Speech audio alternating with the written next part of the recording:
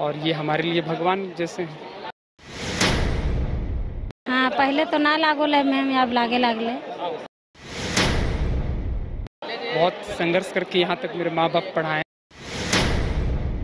और मम्मी घर में है और घर में मजदूर वजदूर का काम करती थी। आज उसका रंग फल बहुत अच्छा लगा है। इन लोगों की वजह से ही जो भी है हम इन लोगों की वजह से। तो इनका चंपाई सोरेन के साथ साथ मम्मी पापा को बहुत बड़ा धन्यवाद है योगदान है।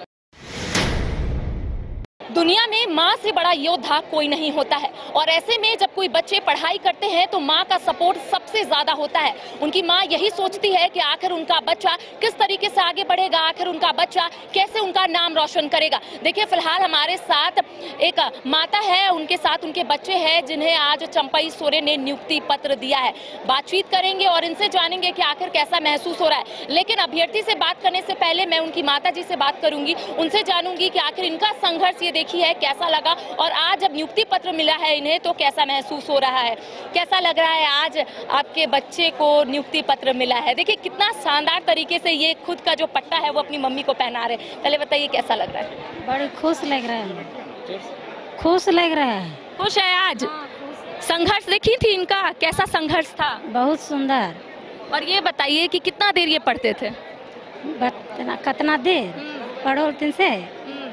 बड़ी देर तक बड़ी मेहनत कर ले।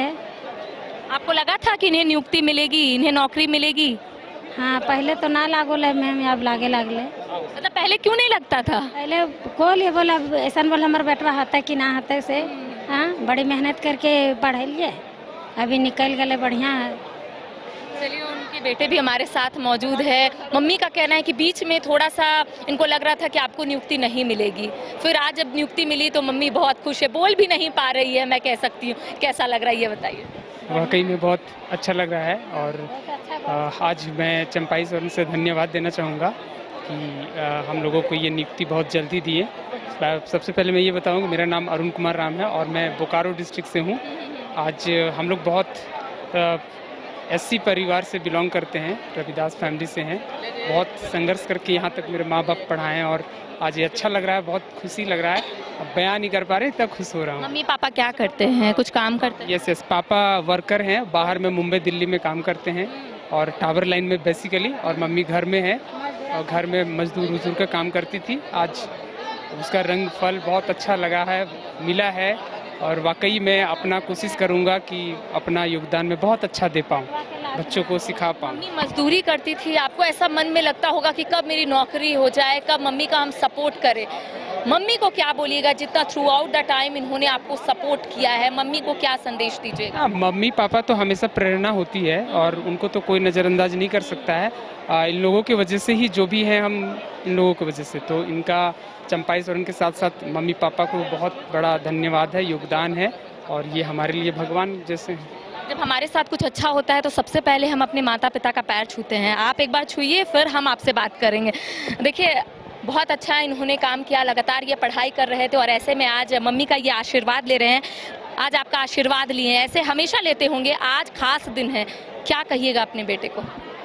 आशीर्वाद देवे की देवे माँ? आशीर्वाद मेरी हाँ। आशीर्वाद दे रही है और हमेशा के लिए खुश किसमें हुआ है आपका मेरा पीजीटी केमिस्ट्री में हुआ है। Plus two. चलिए आगे क्या सपना है? ये बताइए सैलरी जब आएगा पहला मम्मी को क्या दीजिएगा पापा को क्या दीजिएगा भाई बहन है उन्हें क्या दीजिएगा? हाँ बिल्कुल ये तो सोचने वाली बात है बट ऑब्वियस ही बात है कि माँ बाप हमेशा प्रथम में रहते हैं हमेशा प्राथमिकता उन्हीं को मिलता है और मैं उन्हीं के लिए कुछ न कुछ करूँगा। आ, पिताजी नहीं आए? पापा नहीं आए हैं कुछ इमरजेंसी के कारण आ, वो बाहर में रहते हैं तो उनको छुट्टी नहीं क्या संदेश दीजिएगा? आज वो इस खास मौके पर आपके बीच नहीं है क्या उन्हें संदेश पापा को यही कि आप तो आज नहीं है आपका कमी खल रहा है पर आप जहाँ भी हैं आप वीडियो देख के हमें आपको धन्यवाद देना चाहेंगे आपका पैर स्पर्श करना चाहूँगा। आज हमें बहुत खुश मिल रहा है आपकी वजह से वो बाहर मजदूरी करे आप ही की वजह से वो बाहर है ताकि आप अच्छे से पढ़ाई कर ले।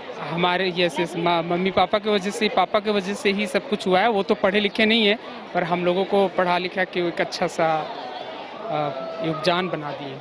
बहुत अच्छा लग रहा है।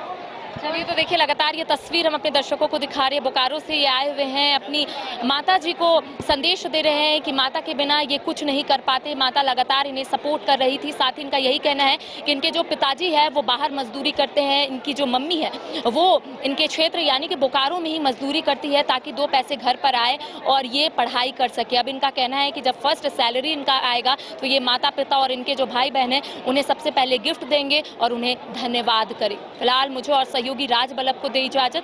नमस्कार। धनबाद और गिरडी का सबसे बड़ा डायग्नोस्टिक सेंटर अविष्कार डायग्नोस्टिक यहाँ M R I three Tesla fibroscan liver CT scan 512 slice cardiac जैसी सारी जाँच की सुविधा पैथोलॉजी और एंबुलेंस की भी सुविधा। बरगंडा गिरडी बैंक मोड़ और सराय थेला धनबाद। पाँच राज्य इकसठ शहर 150 प्रोजेक्ट और एक वास्तु विहार। नई सोच नया घर। बनाए रखिए अपना प्यार। सेवा में है वास्तु विहार।